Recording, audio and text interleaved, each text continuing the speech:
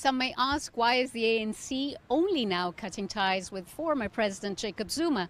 Well, since Zuma was forced to resign in 2018 under a cloud of corruption allegations and President Cyril Ramaphosa took office, there has been two camps within the ANC, one backing Zuma and the other Ramaphosa, which has led to a political power struggle for more than six years. In December, Zuma said at a press conference that he would be voting for a newly formed party called Umkhonto weSizwe because he didn't believe in Ramaphosa's leadership.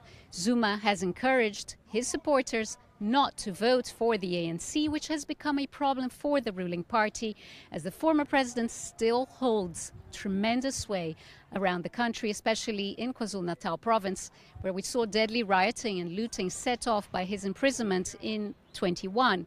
ANC Secretary General Fikile Mbalula emphasized that the suspension is to protect the integrity of the ruling party. The ANC also says it's not fearful of losing votes after Zuma's suspension.